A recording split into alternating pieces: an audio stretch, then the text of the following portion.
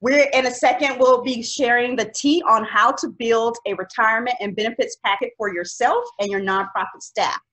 But if you've never met me before, I'm Sabrina uh, Walker Hernandez, and I'm the founder of Supporting World Hope, a nonprofit consulting company. I started after 25 years in the industry. And we have with us today Adam Swartz. Did I say your last name right, Adam? Yes, you did. All right. He's the president and financial advisor of uh, AMIN, Amin? Amin. Amin, okay, financial planning and advisory service. Um, so before we get started, can you click the, if you're watching live or even in replay, can you click the like or heart button if you can hear me loud and clear and let me know where you're watching from? Um, this is going to help us with our Facebook algorithms. Um, the more interaction we have, um, the better it is um, to get to get this showing. Um, so um, if you could do that for me, that will be great. Any heart or where you're from will will help us. and Adam, can you tell us a little bit about yourself and your experience? Sure. Um, I served for 27 years in the nonprofit community. I have a master, a bachelor's from the University of Michigan in communication, and a master's in nonprofit nonprofit organizations from Case Western Reserve University in Cleveland. Um, I worked for 27 years in the nonprofit sector in a variety of different roles, primarily in the fundraising side of things, and was the CEO of a nonprofit for um, eight years as well. So I have served in numerous seats in the nonprofit community and then decided to transition into the financial advising, financial planning world, where I could really directly help people. And a big part of um, my focus in, in the work that I do is to help nonprofit professionals, organizations, and uh, donors in the work that they're doing they dedicate uh, so much uh, time and effort and, and commitment to making the world a better place and helping other people that um, I want to make sure that they have an opportunity to be able to help themselves as well. And so I launched Amin to to really be able to to do that for people in the sector. And so I'm thrilled to have the opportunity today to share a little bit of knowledge.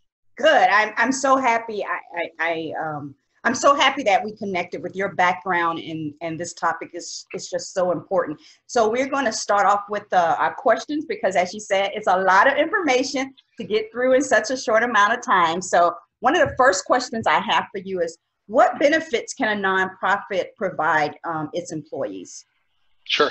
Well, there's there's different types of benefits that a nonprofit can provide. There's uh, there's formal benefits and then there's informal benefits, and it partly depends on the financial capacity of the organization, the um, the scope of, of work that they're doing.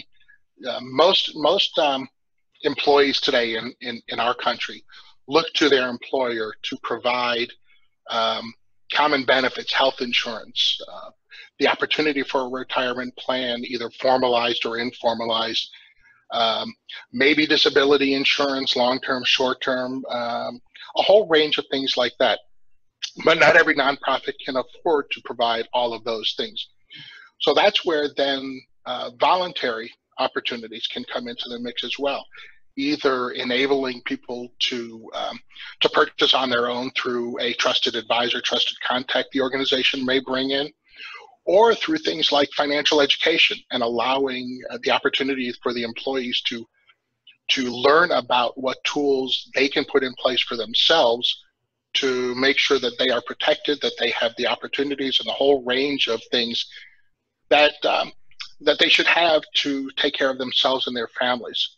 And so, one of the things that's really been understood is that when employees feel better about themselves, when employees understand their financial situation, feel in control of their financial situation, um, spend less time worrying about their financial situation. The more employees are able to feel comfortable in that space, the more productive they can be. So it really turns out to be a benefit to the organization to provide um, opportunities, both formal and informal, to make sure that the, the level of comfort is as high as possible amongst amongst the employees to uh, meet the needs of them the, themselves as individuals and their families if they have. Okay, Thank you for that. That's a very that's a very detailed answer, and it made me think of things in a different way. So thank you for that. Um, sure. Um, when shopping for benefits, how do you compare uh, plans, apples to apples? Well, the the first thing I would say, and, and on a general basis, I think the most important thing is to really understand and be clear. What are you trying to provide to your employees? What do you want to make sure? Uh, is is your impact and your your enhancements on their lives. Um, what do you want to um, make sure they have covered? What do you want to make sure they have taken care of?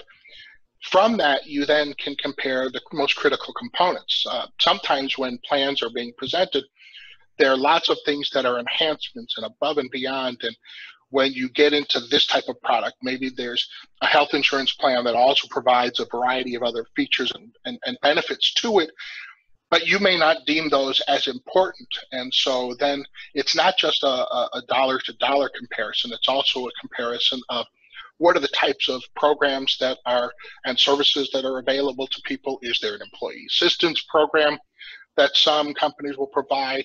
Uh, particularly in this day and age, telehealth and, and telemedicine is um, an important benefit. So it's really understanding first what what are you trying to accomplish? What are you what are your goals in sponsoring a plan?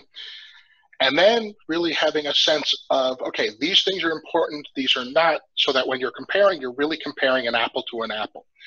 Because if you just look at here's the cost of this and here's the cost of this and this appears to be cheaper but and this appears to be more expensive you may find yourself where that quote unquote more expensive plan is really providing um, more of the things that are truly important to you and it might be worth that additional investment or or not and that's where it's important. That's i think the most important part especially for a nonprofit that is really looking to to be so careful about every dollar that's being spent to really understand what are the benefits that we're providing and what's the impact we're having on our employees and is this something that our employees are going to use?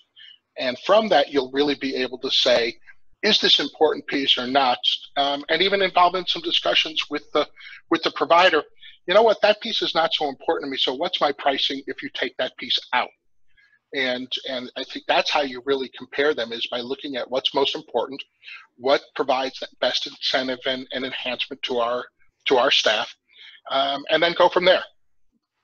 Thank you. And um, how can a nonprofit begin to budget for benefits especially like health benefits and retirement um, the first thing that i would say is is don't presume you have to do it all at once okay. Um, benefit plans pieces can be put in place over a series of years so, and I think that again comes back to what is, if you're transitioning from no plan to having in place a plan, sometimes the answer has to be, okay, we can't go from zero to 100 in, in five seconds. We need to take a, a, a, tiered approach to it. So you may identify, okay, health insurance, for example, is the most important piece that we want to put in first, and we're going to put that in place in year one. Year two, we can add this piece. Year three, we can add this piece because the budgetary demands are going to be um, enable you to steer, stagger that in over time, stage it in over time. So that's one thing I would say first is don't presume it's all or nothing. It can be done in phases. Um, the second part of it is, I think, really having a, an ongoing um, and clear discussion with the volunteer leadership whether that's the chairperson, the, the executive committee, the board, whomever the primary decision makers are relative to the amount of money that's being utilized by the organization for, for core purposes, is making sure that they are um, as aware as they should be of the importance and the added value of staff, the the that ongoing dilemma that nonprofits face about percentage of, of revenue that's used for overhead versus and administrative expenses versus service. Part of what's important to recognize, and, and I think the, the CEO or executive director or whatever the, the title within an organization is, part of their responsibility is making sure to really engage with the leadership in a dialogue around one of the tools that we provide that enables us to get our work done is the quality of our staff and the and the stability of our staff.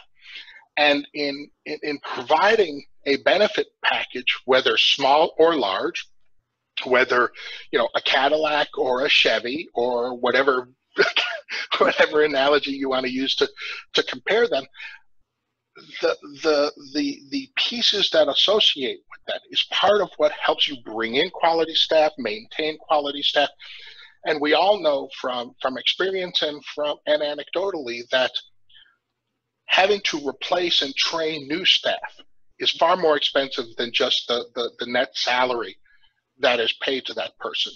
Um, the ramp up, all of those pieces are, are uh, a cost to the organization, whether tangible or intangible.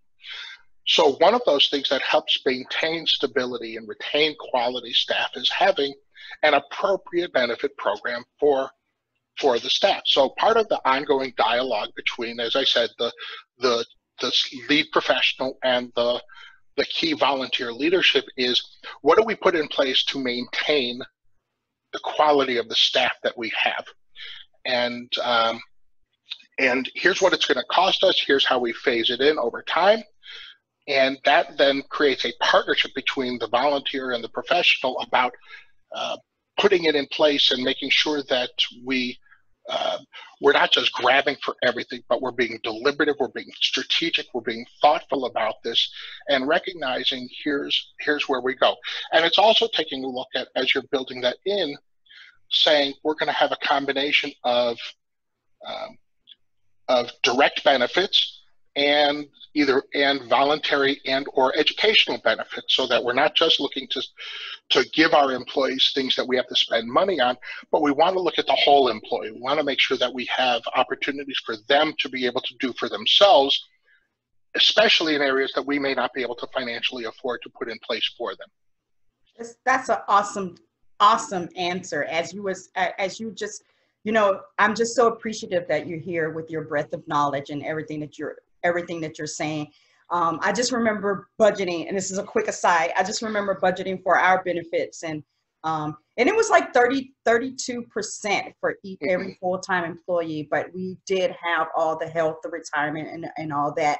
And it is a commitment, and you do have to talk to your board about it. And I love the idea of what you're you're saying. You know, you can phase it in tier one through, uh, you know, tier two, and have that conversation uh, with your board. That that's a very very good um, information. Well, and one of the things that I think is important to remember, and is part of I think the discussion between the volunteer and the leadership, is as as social responsibility becomes more and more of not just a buzzword, not just a phrase, but a real framework that our societies are looking at, our corporate societies, our our um, the totalities of our societies and more and more people are looking at how do we not just do well but also do good.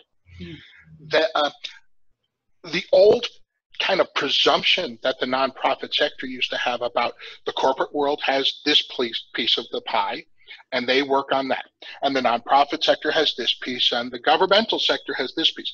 Those lines have become over the last 10 years those lines are beginning are, are becoming um, more and more blurred over time. And we can highlight numerous examples of, of companies that are still keeping themselves as for profit entities, but are putting in place uh, activities that they have that are quote unquote socially responsible mm-hmm. and are having them be good corporate citizens.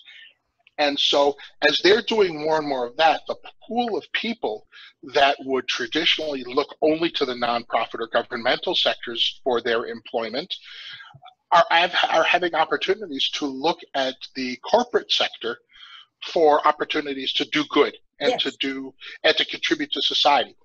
That poses a challenge to the nonprofit sector with regard to we've got to be competitive.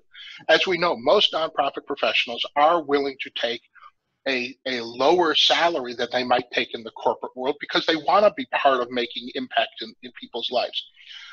But that doesn't mean that they're willing to forego everything um, exactly. um, in doing that. So that's where it's critically important for nonprofits to really say we have to treat our our um, one of our most, if not our most valuable asset, which is our people, Yes. We have to treat them in a way that's going to at least allow us to have some level of, of competitiveness in the framework with regard to those who might otherwise be looking to hire them.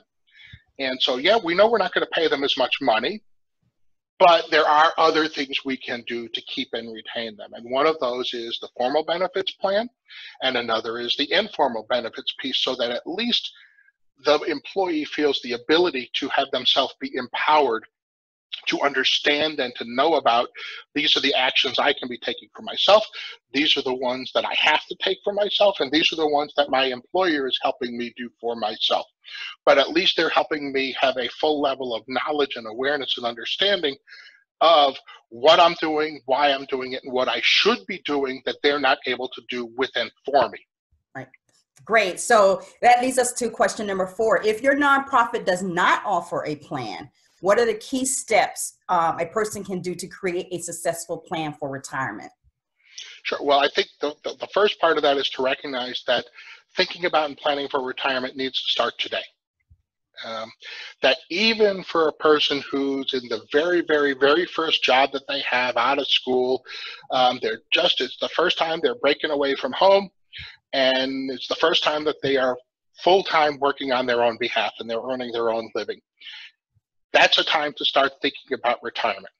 Partly because retirement involves, when most people think about retirement, most people think about money mm-hmm. and they think about finances. Well, there's so the piece of that that does relate to money, money needs time to work. Money needs time to be able to accumulate and to grow, and all of that has a compounding um, factor involved in it. So that needs time. But the other piece of it that also has to start and, and evolve over time is is what does retirement mean? And for every single person, it's different. I'll use myself as an example. I don't ever anticipate what I would call a full retirement. Um, I love what I do. Um, I love having a purpose. I love having meaning. Um, I love having having that uh, that push to to get out of bed and help people on on a daily basis. And I don't ever see fully stopping that.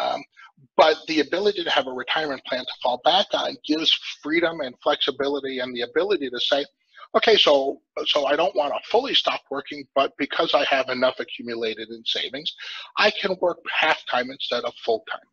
And that becomes empowered. So it's having an awareness in yourself, and this is going to evolve over time. So you know, when a 23, 24 year old, like like one of my kids says to me, um, well, how do I think about retirement? I'm just starting to work. Well, it's going to evolve over time, but since money needs time to work for you and to accumulate and compound and grow, uh, your vision of what retirement is going to look like is also going to do that. But it should be thinking about what's important to you in retirement. What, when do you want to transition? Do you want to try to retire early? Do you want to try to retire late? Do you want to, you know, all of those pieces, so that at any point in time you have a bit of a target as to what you're looking for, which then enables you to put in place the time frame for it and to know here's what I'm looking for in, in, in time frame. Here's where I think I'm going.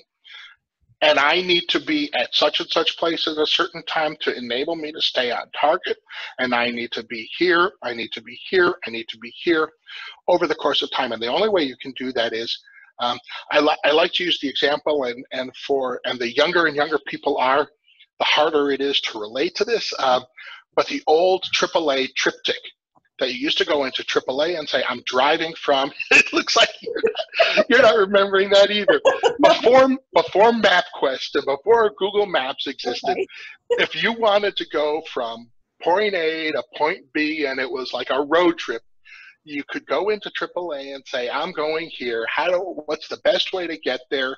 And they would take out these section by section by section maps and they would take out their stamps and they would stamp on it, um, watch for speed zone or watch for construction or watch for things like that.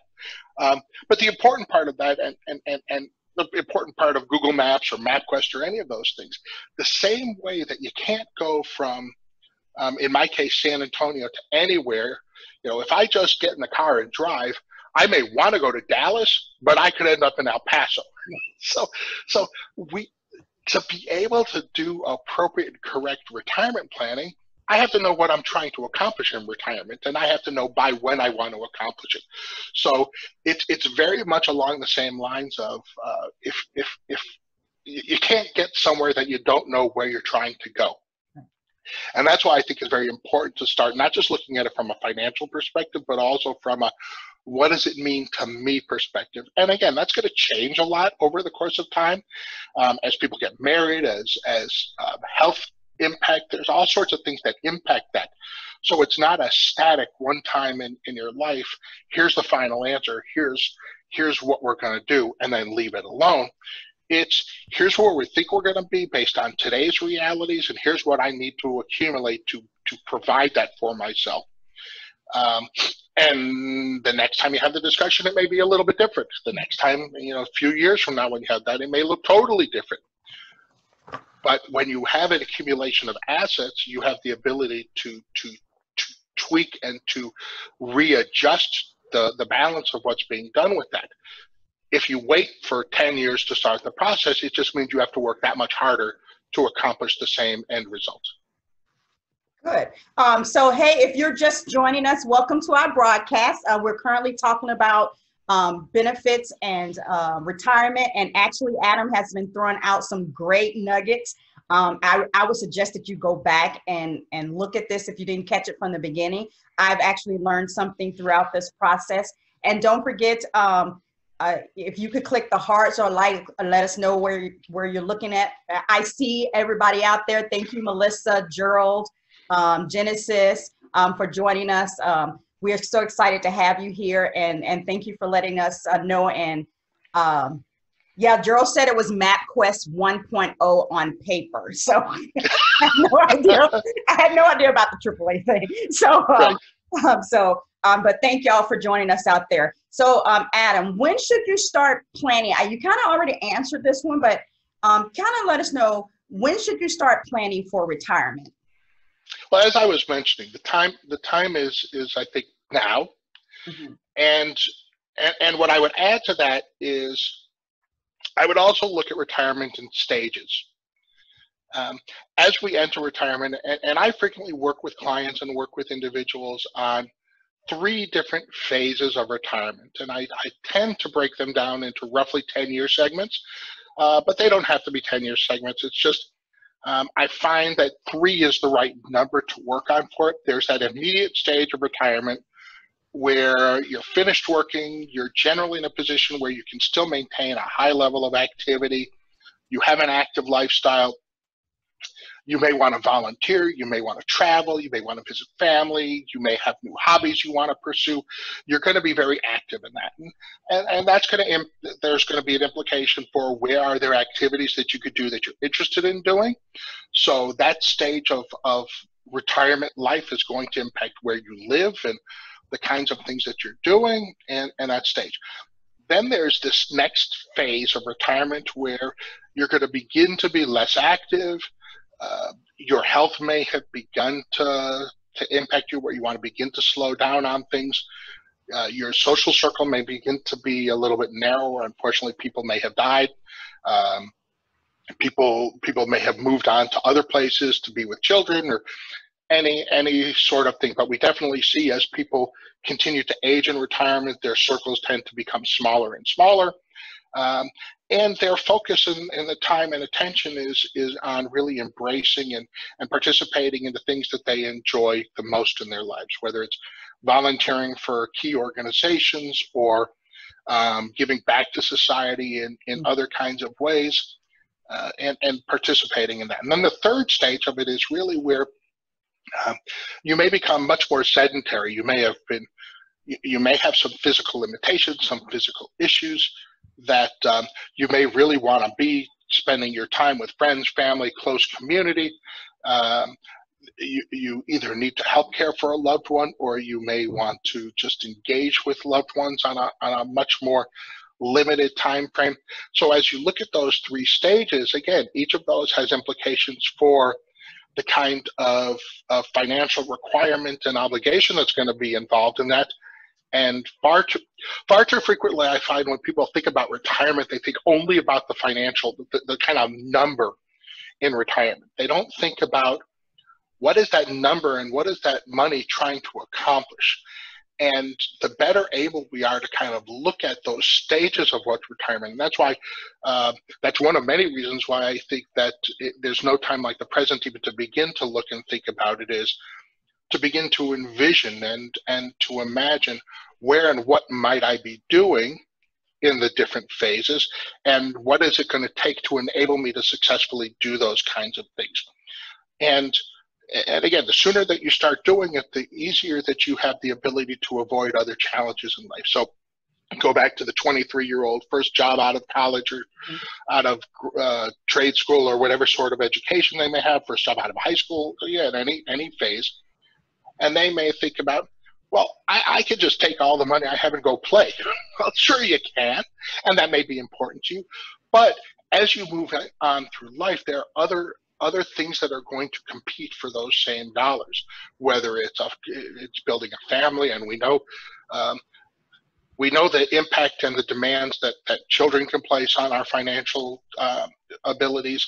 Uh, we know housing demands can play. You know, you go from renting a place to buying and owning a place, and then the air conditioner goes down, and all of a sudden now you got a multi-thousand dollar bill, etc. So, so for multiple reasons, including the fact that compounding money really helps you grow, and that's why sooner. But two, the less obligations you have for your money, the better positioned you are to begin that accumulation. So if you start sooner and start um, putting aside the maximum that you can when you're younger and allowing that to work for itself, then when there are greater demands for your money and maybe you aren't able to put in the maximum into those retirement plans. Again, I'm focusing kind of on the question that you raised about if my employer can't put this in place for me, how do I take care of myself? And so um, you have those limitations in terms of what the government allows you to set aside for retirement accounts and things like that. So if you can match those out in your younger years, and you may not be able to because of competing demands for that money in your kind of uh, middle stage lifetime, you may only be able to put a portion in, you'll still have the compounding benefit of what you did in your earlier stages. So that's why it's so critically important to be thinking about what can I do today to help provide for my retirement in the future. And I think the last thing I would say about that is is the reminder to people retirement is one of those handful of things in life that you cannot borrow money for. You can borrow money for college, you can borrow money to pay for your house, you could borrow money for to go on a trip. And mean, whether it's advisable to borrow money for some of these things or not is one question. But the reality is you can borrow money for lots of activities in life like those things. You cannot borrow money for retirement. So retirement has to, in the minds of, of a lot of people, kind of play uh, a critically important role as part of thinking about how do I accumulate and how do I plan and address my future situation. And that's why I keep coming back to the idea that no matter what age you are, um, and, and whether you're playing catch up because you've started later or whether you're starting sooner, which will give you more time there's no time like the present to begin to address that. Yeah, that's a great point. You cannot you cannot borrow for retirement. Um, so um, I got uh, two more questions here. So what is Social Security? Because you, you you mentioned some people might have started late. So what is Social Security, and how will it play in into um, a retirement plan? Sure. Social Security is really it's it's not a one size fits all okay. plan for everybody, and I think that's one of the challenges is that people sometimes think of, of uh, Social Security as it's the same thing for everybody. Well, it's it's really not. Um, first of all, it's it's one of those things that you have to accumulate a certain amount of time in a job to be able to have accumulated benefits benefits for, and assuming that you've accumulated um, the sufficient number of, of, of credits for the program, which just from technical perspective is 40, which is roughly 10 years of work. Uh, and the longer you work, the greater your benefits are. Okay. Um, it provides you an income for life. And that income for life can be passed on to um, spouses, whether um, current or former, um, same sex or, or different sex. There are benefits to that can be accumulated for each of for each of them. Uh, and and there's technicalities and details that are involved in this. So I'm, I'm really describing kind of at what I would call the 10,000 foot level. Okay. Uh, but but what it is, is it's a place where a portion of your of your income, the government is is setting aside into a the equivalent of a trust fund for people in in later in life. for their retirement. Now, the other part of it that's not a one size fits all is what you get from that retirement in, in large measure can be determined by when you start to um, to withdraw those benefits.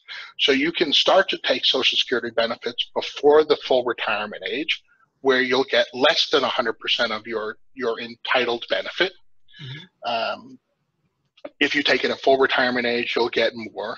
That you'll get the the the benefit you're entitled to, and you can get a statement every every year that shows you exactly where, based on the number of credits and the amount of money you've put into the system, this is what your um, your Social Security income would look like.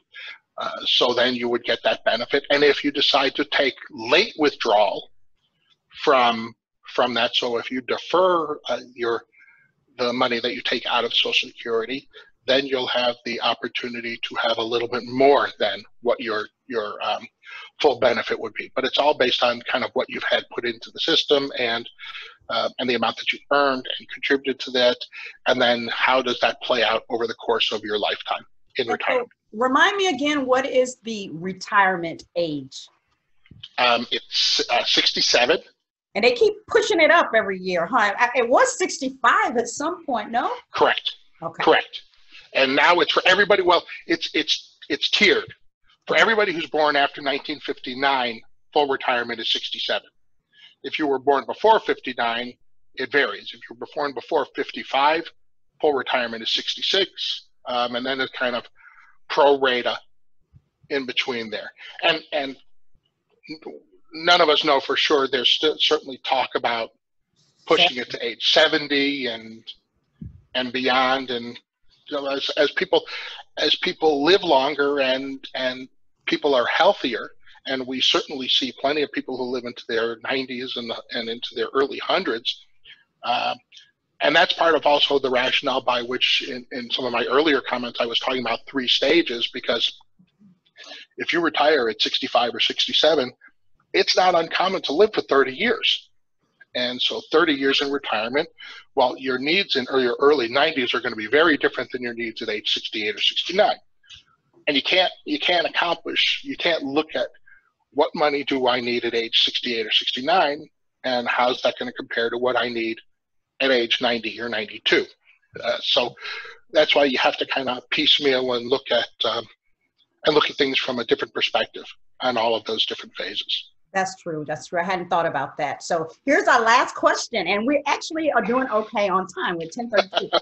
so, um, but this is a very important conversation. We have a lot of engagement on Facebook. Um, so, um, what retirement risks should uh, someone plan for? Sure. Uh, there, there are a number of them, and and um, you know, if you really stop and think about, so I retire at age 67 if I retire early at 62, retire at 65, 67, 70, you know, whatever age I retire. So what are the things that could pose challenges to, to what I have available in retirement? One, one is I live longer than I had planned for. Mm-hmm. Um, and I didn't put in place a plan for how am I going to use my money, starting with withdrawal. And so I take too much of it each year in the first 10, 15 years of retirement. Now I have nothing left. So so there's there's the risk of living longer than what you planned for. There is inflation risk.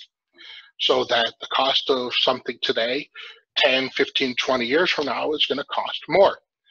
Um, healthcare costs. Mm. As we get older, we typically get um, less healthy.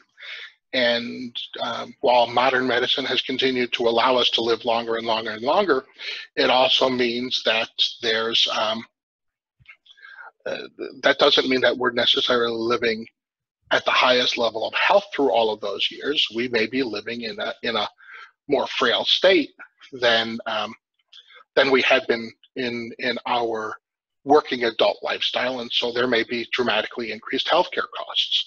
Um, depending on how we have our money invested or allocated, the market can go up, down, uh, stay flat, and so we have to be careful about what could happen with um, with volatility of where our money is.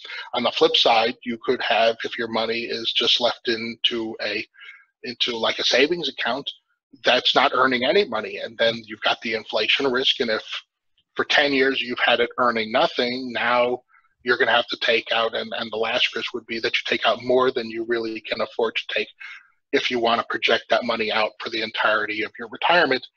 So if you take those excessive withdrawals, now your money is going to be depleted faster. So it's really a combination of all of those different kinds of things. And that's another, you know, taking it again back to the three stages of retirement that I like to come back to to to, to those and, and talking about this with people because in those three stages you can begin to address different of these components. You can address um, what are my healthcare costs going to look like first 10 years, second 10 years, third 10 years? How do I manage um, the risk of, of market volatility? So if I know that I'm setting aside money that I'm not planning on using for 20 years, maybe I can be um, a little bit less cautious with that money than money that I may need in two weeks. Um, and, and a whole range of things that allow you to really align your money with the purposes to try to minimize the risk that you have in retirement in, in those you know, areas that I was highlighting. Perfect. So um, let me, I'm going to check and see if we have any questions um, on o- over here. Um, no, but I get a lot of uh, thank you for today, Adam. You have, you know, provided a lot of great information. Um, and they uh, comments about thank you for saying that at any stage you can do uh, start retirement. So we got a lot of engagement um, on that about the information that you're providing. Um, but I will say to the group, um, if a question comes up later that um, hasn't come to mind right now, feel free to to place the comment um, here, and Adam will get back with you. He's very thorough and this is some great information. Um, but one of the most common questions I, I get um, is around fundraising um, for your nonprofit. And if you do have any fundraising questions, the next step you can do is visit my website at um, www.supportingworldhope.com to check out my services. Um, and if you're watching um, this in rebroadcast, and you have a question or comment, please uh, put it there and we will get back with you. Again, I'm getting a lot of info, uh, a lot of kudos to you, Adam, about the awesome information and um, they, they don't they want to thank you for your insight and your and your recommendations. Um, so I really appreciate you being here today and uh, I really I really learned something from all the information. If anybody wanted to get in contact with you, can you share your information? Absolutely. Um, my email is Adam Schwartz at financialguide.com. Um, and my, um, my phone number is 210 384 5310. And um, I just want to thank you for the opportunity. And to the people who I can't see who are participating, um, I want to thank you. I know, as, as I mentioned before, after having spent 27 years in, in the sector, um, having my master's uh, in in the sector, um, I recognize the commitment and the the sacrifices and the um, the the incredible work that's being done by everybody in the sector. It's it's a significant part of why I I really wanted to make sure that I continue to provide and to work with people who are doing so much important work for others and why I've made as a, as a part of my commitment in my practice to always be available for people who are who are doing good for others mm-hmm. and to help them out. Uh, if I can if I can help um, even one person avoid the issue, gosh, if only I knew then what I know now because of a conversation I had, and my my my personal life is better because of learning that that a little bit more. Um, then I will have felt um, enriched and, and, and blessed to provide an opportunity for others because each and every one of you who is who is serving in, in the nonprofit sector is is giving so much back and, and doing doing your part of making the world a better place. And so I appreciate um, I wish I could see everybody yeah. is, is participating and, and thank you each individually and personally, but but please do know that I do um, recognize what you're doing and deeply, deeply appreciate what you're doing and um, say thank you and, and keep it up. Yeah. Thank you. Thank you. So, to the crowd up there, if there's a topic you want to hear about, um, hit me up on Facebook um, on my page and let me know. Um, we're always looking for uh, great uh, speakers and great content like Adam just provided. Um, you can also uh, tap the, the button so you'll know the next time that I go live.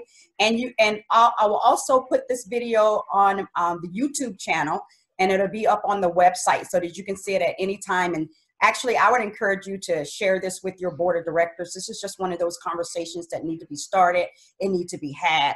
And I will leave you with this. Um, your mission matters. It deserves to be highlighted in the community. Your mission matters and can be an inspiration to those who need it the most. Your mission matters and deserves to be funded at its fullest capacity. And that's Sipping Tea with Sabrina, and see you next time.